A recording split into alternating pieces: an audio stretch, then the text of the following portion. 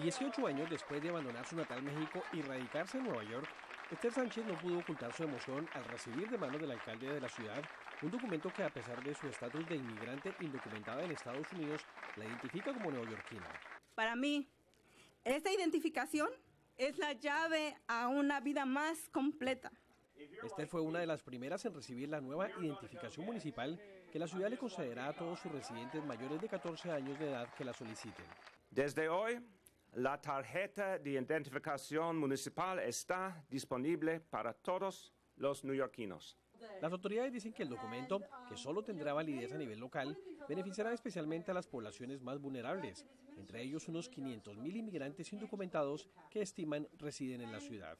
Si eres trans, si no tienes hogar, si eres estudiante o si eres indocumentado. Esta es una tarjeta de identificación para todos los neoyorquinos. Los interesados en tener la tarjeta tendrán que llenar una aplicación, presentar un documento como el pasaporte y una prueba de que habitan en cualquiera de los cinco condados de la Gran Manzana. Con la tarjeta de identificación podrán acceder a los servicios básicos de la ciudad. Una cuenta bancaria, por ejemplo, este, para entrar a edificios públicos, para seguro, o sea, nos beneficia mucho a nosotros. Ya no tendría temor cuando la policía me pare. A la biblioteca no podía ir, tenía que llevar una identificación, algo, yo no tenía. Nueva York cuenta así con el mayor sistema de identificación municipal de la nación y sigue el ejemplo de ciudades como Los Ángeles, San Francisco y Oklahoma, donde se emiten documentos similares. De los 51 miembros del Consejo Municipal, solo 13 opusieron a la medida, entre ellos el republicano Vincent Ignicio, quien argumentó que no era segura y sus portadores podrían abusar de ella.